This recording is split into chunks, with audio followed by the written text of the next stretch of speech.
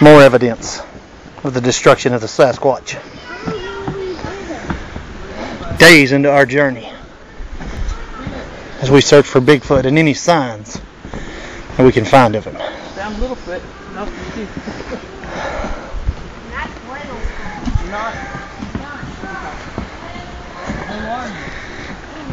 This place is not fit for man nor beast. We've been on the trail so long I've lost track of time. Minutes become hours, hours become days, days become weeks when you're lost in the woods.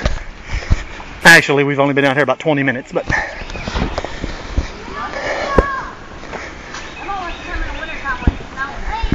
We're already trying to decide which one of us we're going to eat first. you heard that, didn't you? They're already deciding who they're going to eat first, and I'm bigger than any of them. I may have to run for cover at any time. now dive in a bush. And scream.